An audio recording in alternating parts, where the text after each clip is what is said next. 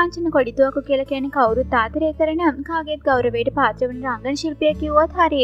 ඒවකෙම තමයි ඔහුගේ ආදරණීය සහෝදරිය අරුණි කොඩිතුවක්කු කියලා කියන්නේ එත්නාව පරපුරේ දක්ෂ ජනප්‍රිය නිවේදන ශිල්පිනියක් විදිහට හඳුන්වලා දෙන්න පුළුවන්. ඉතින් මේ දෙන්න අතර තියෙන ලේ බැඳීම ගැන දැනගන්න පහුගේ දවසක අපේ රටේ පුවත්පතක් විසින් ඔවුන් දෙන්නටම කතා කරලා තිබුණා.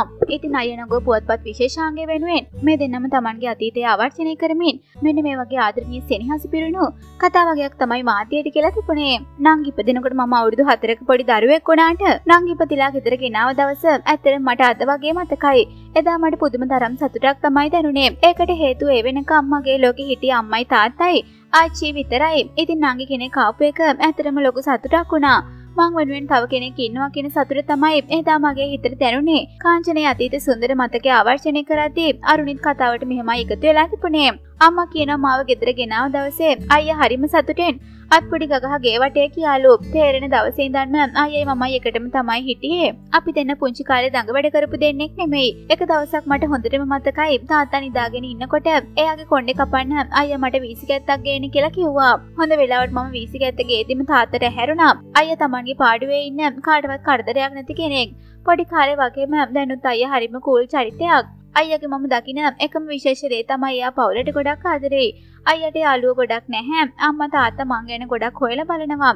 පුළුවන් විදිහට හැමෝට මුදව් කරන ආදරණීය චරිතයක් තමයි අයියා. එයා කැමති හැම වෙලාවෙම පවුලයත් එක්ක ඉන්න තමයි. ඒ වගේම තමයි අයියා එයාගේ දුවට පණ වගේ අතරෙයි ඉතින් තමන්ගේ ආදරණීය සුන්දර නැගණිය ඒ මතකයන් ඒ විදිහට ආවර්ජනය කරද්දී කාංචනත් මේ වගේ කතාවක් තමයි කියලා තිබුණේ. මුලින්ම අපි දෙන්නම ගියේ රාවණාවත්ත මෙතෝදිස්ස විද්‍යාලයට. මම ශේෂත් විභාගේ පාසලා මොරටුව වෙල්ස් කුමර විද්‍යාලයට කියා නංගිත් ඊට පස්සේ වෙල්ස් තුමරි විද්‍යාලයට ඇතුළත් වුණා. පාසලේදී අපි දෙන්නම කලා කටයුතු ලේදුනට පාසල් කාලේ මම හිතාගෙන හිටියේ නළුවෙක් වෙන නෙමෙයි ඉතින්.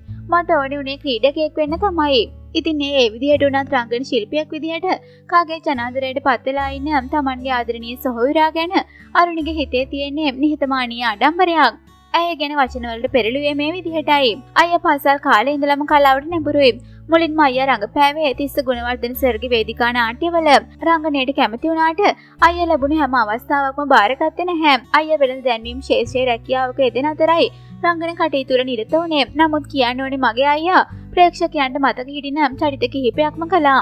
මම හිතනවා අය කලා ශේත්‍රය තුළ ඇබ්දිගටම නිරත වුණානම් රංගන ශිල්පියක් විදිහට තවත් සාර්ථක වෙන්න තිබුණ කියලා. ඒ එසේ වෙතත් අයගේ රංගන හැකියාව ගැන වගේම මේ වෙදිය හෝ ඉන්න ස්ථාවරය ගැන ඇතරම මම ගොඩක් සතුට වෙනවා. ඉතින්නේ කතාවට අඩු වැඩි වශයෙන් කාංචනත්තේ අවස්ථාවේදී මේ වගේ කතාවක් තමයි කියලා තිබුණේ. නං ඉක්මනින් තීරණ ගන්න කෙනෙක්. ඒ වගේම තමයියා කියන දේ කෙලින් කියන චරිතයක්. අපි ඒ කාලේ හිතුවේ නංගි නීතිය ඉගෙන ගැනීම කියලා. ඒ කාලේ ඉඳලා මෙයා ඕනෙම පොයින්ට එකකට කතා කරන්න දක්ෂයි. ඉතින් කියන්න ඕනෙ මගේ නඟිගෙන තියෙන මතකය එකින් එක වෙන් කරලා කියන්න අමාරුයි. නමුත් මටයාව හිතර ගොඩක් දැනෙනවා.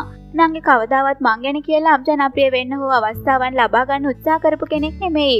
නංගි මම එකට රූපවාහිනී වැඩසටානක් ඉදිරිපත් කළ අවස්ථාව සුවිශේෂයි. ඒ සියත නාලිකාවේ ස්ටාවයා වැඩසටාන ලංකාවේ පළමිනි වතාවට අය නංගෝ දෙන්නෙක් ඒ වගේ වැඩසටානක් කරපු පළමු අවස්ථාව තමයි එක ඒ වෙලාවේ ඇත්තටම අපි දෙන්නටත් වඩා සතුරුනේ අම්මයි තාත්තයි.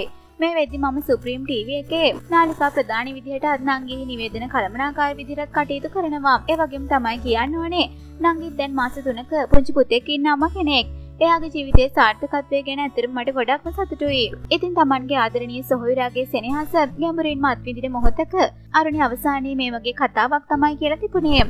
අයියා රැකියාවකට ගිය අවුරුදු 19දී මම මේ කාලේ ඉස්කෝලේ යනවා. අම්මා ඒ කාලේ අයියට කියලා තියෙනවා තව ටිකක් ඉගෙන ගන්න කියලා.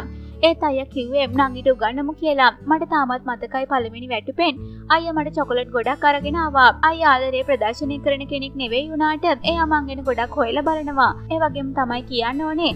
මම සාමාන්‍යයෙන් ගොඩක් කන තීරණ ගන්න කෙනෙක්. එහෙම ගත තීරණ සමහර වෙලාවට වැඩදුණු අවස්ථා තියෙනවා.